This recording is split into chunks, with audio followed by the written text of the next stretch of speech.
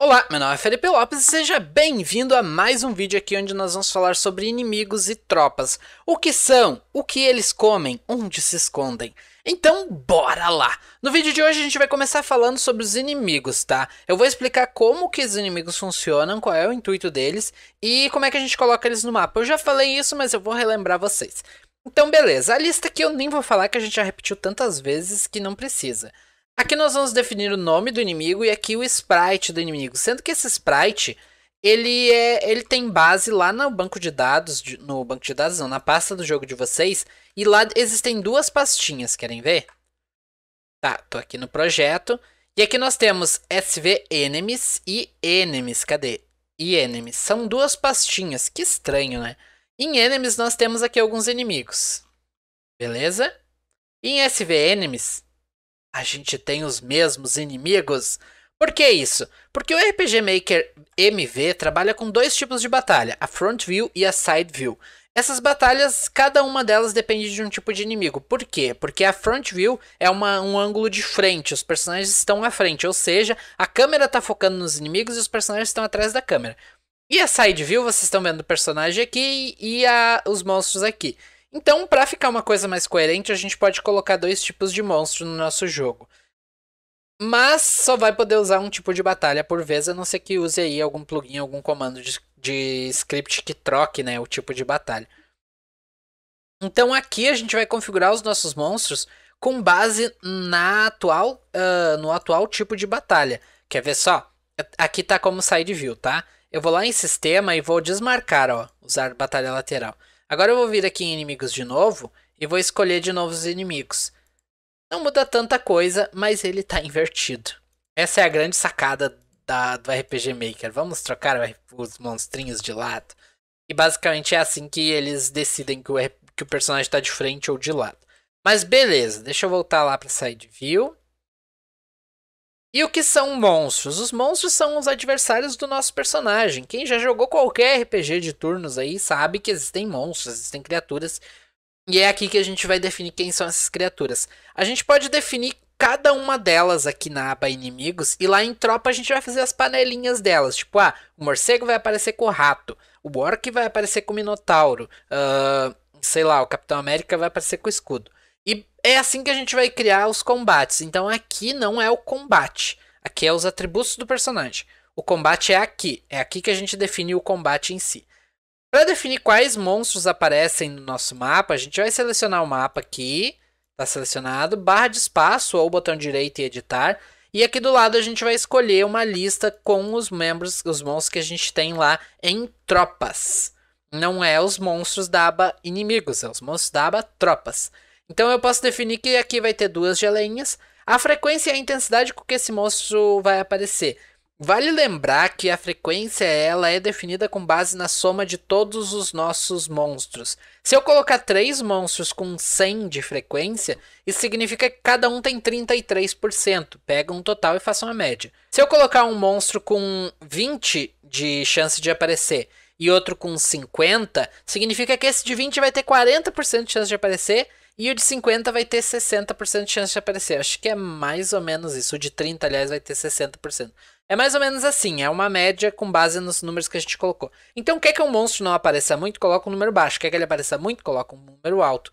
Vocês podem também usar simplesmente o 100 como base. Tipo assim, ó. Ah, eu quero que uh, a geleinha... Deixa eu clicar aqui. A geleinha apareça bastante, vai ter 80%. Me sobrou 20%. Ah, eu quero que o Minotauro apareça em 15% das vezes. Beleza, e o morcego em 5%. Então, se vocês usarem aqui o, o percentual uh, como base, né, como referência para definir qual é a, a, chance de aparecer os monstros, vocês vão ter um controle maior. Só que, claro, eu também posso usar o 1000 como referência. Eu nem sei se eu posso passar aqui de... Ó, o 100 é máximo. Só que daí eu posso colocar aqui, tipo, ó... 1, 2, 3, 4, 5, 6, 7, 8. Então tem 80% de chance de aparecer aqui a geleinha. E tem aqui, tipo, quase nada por cento de chance de aparecer o Minotauro. Que é mais que 80, na verdade. Só que aqui, no caso, a gente vai ter que completar os mil. Deixa eu vir aqui.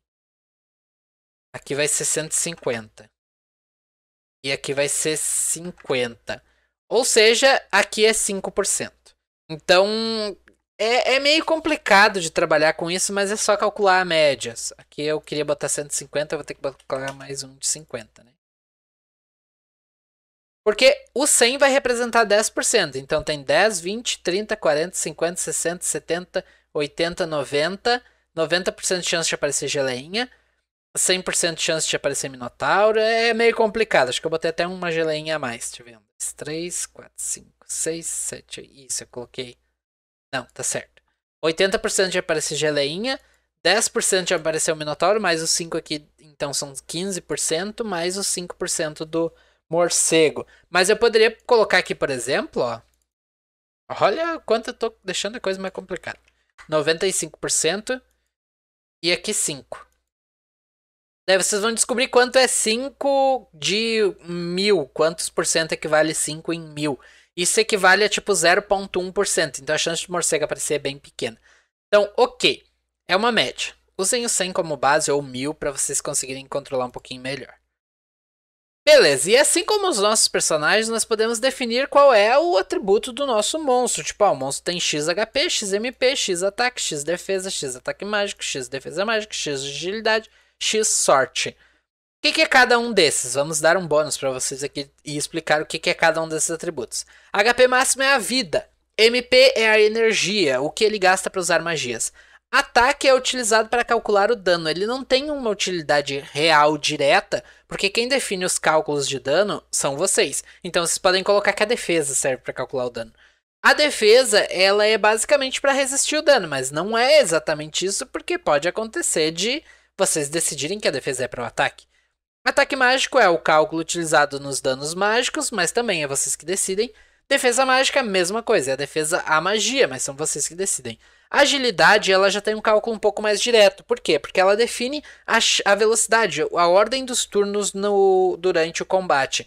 Então, quando um personagem for atacar, vai ser somado a agilidade dele mais o bônus de agilidade que aquele item, aquela, aquele ataque fornece, fazendo com que defina quem ataca primeiro. Um personagem de 130 de agilidade vai atacar primeiro que um com 30.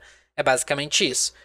A sorte ela serve para calcular a chance de receber ou causar debuffs, então ela ajuda também nisso, além de ajudar no dano crítico, tá? Ela vai definir a chance de vocês conseguirem acertar um dano crítico. Então é para isso que serve cada um dos atributos. Traços eu não vou falar de novo, eu falei há uns dois ou três vídeos atrás, lá quando eu falei sobre personagens e classes. Experiência é a quantidade de XP que esse personagem vai me dar. Se ele der 10 e eu preciso de 50, com 5 desses eu evoluo. Sendo que ele dá 10. Mas se tiver 5 desses na tropa, eu vou ganhar 50. Então tomem cuidado com isso. O ouro é a quantidade de dinheiro que vocês vão ganhar ao derrotar esse monstro. Lembrando que se ele dá 10, tem 5 na batalha, vocês ganharam 50. Os itens que serão obtidos aqui no quando matarem esse monstro, por exemplo, eu posso obter aqui uma poção, a chance é de 1 em 1, 100%. A chance é de 1 em 2 é igual a 50%. A chance é de 1 e 3, 33%. 1 e 4, 25. 1 e 5, 20. 1 e 6 é tipo 15. É tipo 17 por aí. 1 em 7, ah, já não sei mais. Mas eu não sei até quanto dá. 1 em 100 que é de 1%. Eu não sei se dá mais que isso. 1 em 1000 que é de 0,1%. Então dá. E é bem interessante aqui criar. Eu gosto, eu, eu gosto muito disso. De monstros que dropam itens raros. Mas expliquem pro jogador em algum momento do jogo que alguns monstros dropam itens raros. Sei lá, se eu matar o morcego 15 vezes, eu tenho a chance de ganhar uma espada mágica do morcego. Então expliquem isso pro jogador, pro jogador saber que ele pode ganhar esse item, já que ele vai ser raro. Eu gosto de coisas raras nos jogos. Dá uma, dá uma sensação tão boa quando a gente ganha uma espada encantada, mística, secreta do além, e a gente sabe que aquele item é difícil de conseguir. E claro, vai ter aquele sortudo que matou dois monstros e ganhou. E aqui são, no caso, os tipos de item arma e armadura, né? Ou se ele não vai dar nenhum item. Cada mão pode dar até 3 itens, e aqui eu vou dar um conselho que alguns de vocês vão estranhar. Mas existem plugins para alterar isso aqui, deixar a probabilidade diferente, fazer com que o monstro drope coisas somente em determinadas condições. Eu acho bem interessante trabalhar com isso, mas eu acho que o que está aqui já é o suficiente para a gente começar. Beleza, e aqui nós temos então o tipo de ataque do nosso personagem. Como é que a gente configura isso? Não é tão simples assim. Nós vamos escolher aqui qual é o ataque, sendo que esse aqui é o ataque padrão. Vou criar mais um. Uh, eu vou colocar que esse monstro aqui ele usa fogo. Frequência é um pouquinho complicado, mas nem tanto, tá? Eu vou ler aqui a explicação. Prioridade da ação. De todas as ações que satisfazem as condições. Ou seja, para o ataque ser utilizado, esse que eu defini aqui, essa habilidade ser utilizada, as condições ali de baixo precisam estar sendo atendidas, senão ele não vai ser utilizado independente da frequência. Aquele que tiver a classificação mais alta será a padrão, ou seja, o número mais alto é o padrão. E aquele dentro de dois pontos da classificação da padrão será usada. Isso aqui é um tanto quanto muito confuso. E aquele dentro de dois pontos de classificação da padrão será usada. E aqui não diz. Ações com pontos distantes da classificação serão usadas dois terços do tempo. E aqueles com dois pontos distantes da classificação serão usados um terço do tempo. Então, basicamente, vai funcionar com uma forma gradativa. Quanto mais alto o, a frequência, maior é a chance de ser utilizado. Quanto mais baixa, menor. Aqui fala de um terço do tempo para um, uma classificação com dois pontos de diferença. Por exemplo, ó, se eu colocar aqui 7 e aqui na condição na primeira eu colocar 9,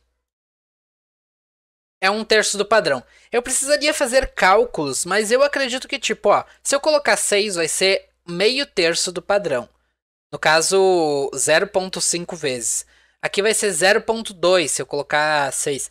Então, quanto mais baixa a classificação, menor é a chance. Se dois, ataques estiverem com a mesma frequência, eles vão ser utilizados com um, uh, 50% de chance cada um, tá?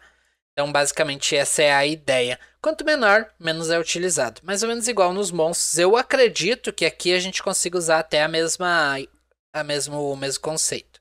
Beleza. Condições a gente pode definir que ele sempre é utilizado. A gente pode definir que ele vai ser utilizado a partir do turno 5 e depois de dois turnos. Por exemplo, ele vai ser utilizado no 5, no 7, no 9, 11, no 13 e por aí vai. Aqui é o turno inicial e aqui é quantos turnos a mais vai ser utilizado depois disso. A gente pode definir que o HP dele tem que estar tá entre uh, 20% e 0, por exemplo. Não sei se, se tem diferença aqui de. É, tipo isso. Ou 0 e 20, né? Então o HP dele tem que estar tá nessa faixa aqui para ele utilizar esse ataque. Eu posso fazer que, por exemplo, ó, dos 40 aos 80% de HP, ele vai utilizar esse ataque. MP é a mesma coisa, digamos que quando ele está com 0% de, de MP, ele libera um golpe novo. Estado, digamos que esse monstro, quando ele fica, sei lá, envenenado, ele ganha uma habilidade nova, porque isso é legal demais. Eu acho legal demais, sinto falta desse tipo de coisa. E olha só como é fácil, né? Ah, se o monstro está envenenado, ele começa a usar chifres envenenados. É uma investida que ele bate com os chifres nos inimigos e envenena também. Um slime que tá com uma condição, sei lá, quando ela tá com o inimigo, ela consegue causar essa condição no inimigo. Olha só que coisa legal, vou botar isso no meu jogo. Nível do grupo, então, digamos que se o nível do grupo é igual a, sei lá, 80 ou acima, esse personagem vai ficar mais forte. Basicamente é isso. E uma switch. Eu posso fazer que, por exemplo, ah, ah, enfrente os terríveis lobos do deserto. Mas para lutar contra eles, leve este item mágico que faz com que as presas deles se quebrem. E a partir do momento que vocês recebem esse item, vocês ativam a suíte Lobo do Deserto. E aí o lobo não usa mais a mordida, porque ele quebrou os dentes, coitado do lobo. Então, dá pra fazer esse tipo de coisa no jogo e é muito raro de ver, tá? Eu confesso que não há uma um cuidado assim mais profundo com as batalhas. Outra dica que eu posso dar para vocês é que vocês podem colocar aqui, ó, um ataque como padrão e mais um outro ataque aqui embaixo, ambos com com 9, tá? E aí o que que vocês fazem? Um deles vocês colocam, sei lá, de 50 a 100%. O outro vocês vão colocar de 0 a 49. Ou seja, quando o inimigo trocar de, uh, no caso, receber muitos danos e passar pela metade do HP dele, ele vai começar a usar um outro, um novo ataque que vai causar mais dano e esse ataque é mais legal e tal. Então isso aqui deixa os monstros muito mais legais. E aqui são os outros monstros, né? Os traços, como eu disse, é a mesma coisa que nos atores. Beleza, vamos para tropas. E tropas são um pouquinho complicadas porque elas exigem aqui um conhecimento também de eventos. Aqui é a lista, mesma coisa. Eu vou criar uma tropa nova aqui só pra gente ver. Beleza. Vou vir aqui, ó. E aqui eu vou dar um nome pra essa tropa, eu posso autonomear. Eu vou colocar aqui Batalha do Crepúsculo. Parece legal, não tem nada a ver com o filme. Beleza, aqui é o campo de batalha. É aqui que acontece a batalha. Aqui eu posso autonomear. Opa, ela ficou zerada porque, né, não tem nada ali. Batalha do ela zera porque para definir o nome ela usa como base o monstro que tá dentro dessa batalha. Se não tem nenhum monstro, não tem porque ela botar um nome. Então, beleza. E aqui eu vou definir que vai ter morcego, ó. Um morcego. Eu vou escolher aqui, eu posso clicar e arrastar, ó. Onde fica esse morcego, mais um morcego, mais um morcego. Beleza. Eu posso inclusive pegar esse sprite aqui, virar ele ao contrário e colocar um morcego aqui desse lado, mas fica zoado. E outra coisa que eu esqueci de falar para vocês é que aqui, ó, quando a gente define o monstro, dá para transformar ele em outras cores, ó. Então não precisa só usar essa corzinha padrão. É uma pena que só tenha isso aqui para monstros, né? Devia ter isso aqui para mais coisas. Isso aqui é bem bacana. Tá, deixa eu voltar lá. E aqui tem três monstros, então. Tem três morcegos na Batalha do Crepúsculo. Eu posso alterar o background aqui, ó. Ah, digamos que na Batalha do Crepúsculo eu vou, sei lá, lutar contra eles na caverna. Deixa eu voltar lá que eu esqueci de colocar a caverna aqui. Beleza. Então, a partir desse momento, a batalha é dentro da caverna. Ah, se o monstro aparece em um local que tem caverna, coloca uma background de caverna, né? Mas isso é uma coisa que dificilmente eu vejo os makers falharem. Aqui é teste de batalha, não tá funcionando, então não precisa testar. Nessa versão do RPG Maker aqui não funciona. Eu vou até testar, mas. E ó, dei com a língua nos dentes, funcionou. Não tava funcionando, voltou a funcionar. Então esse aqui é o teste de batalha, ele começa já dentro da batalha, ó. Eu vou atacar os monstrinhos ali. Tá tudo alterado os parâmetros do meu RPG Maker, então por isso a gente não tá causando dano. Aqui, basicamente, são comandos pra gente colocar um personagem ali dentro ou retirar, né? Aqui eu adiciono. E se eu clicar aqui, eu posso remover, ó. Aqui eu posso limpar, tiro tudo. E aqui eu alinho, ó. Faço eles ficarem retinhos. Mas isso usa como base a batalha frontal, então não é tão legal. Beleza, e aqui nós temos uma janela de eventos. Uma mini janela de eventos. Sendo que nós podemos determinar a condição para que o evento que está aqui dentro seja executado. Ou seja, ah, fim do turno. Toda vez que terminar um turno, vai acontecer o que está ali. Beleza.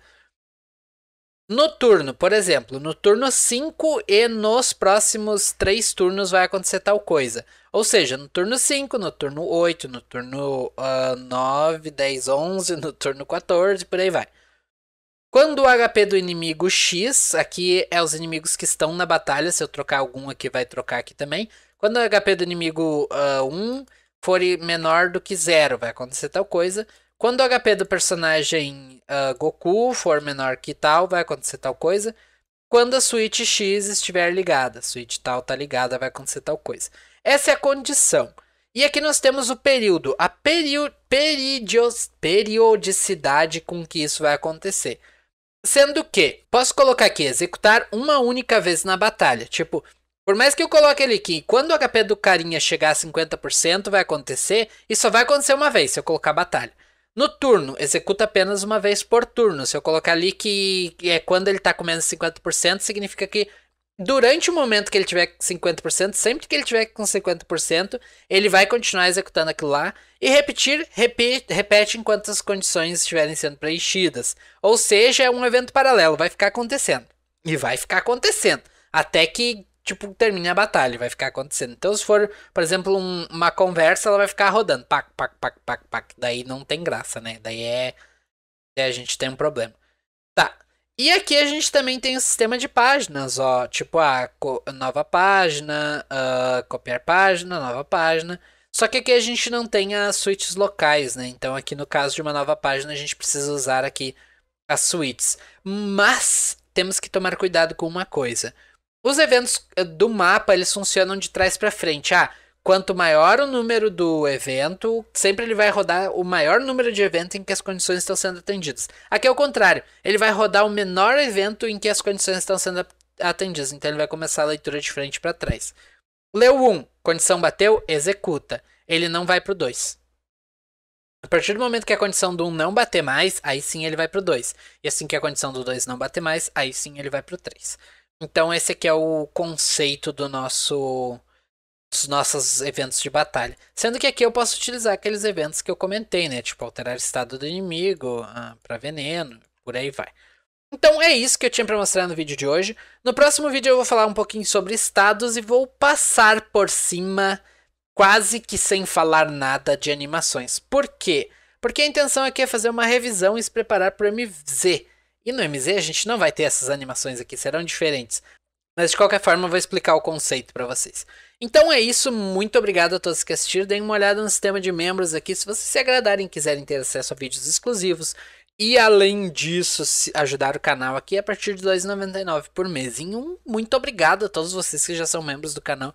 Vocês ajudam de verdade, não somente de forma financeira, mas principalmente a motivação, que eu acho que é o, a base de toda a criação, é a motivação. E quanto mais motivado a gente tá, mais empolgado a gente faz as coisas.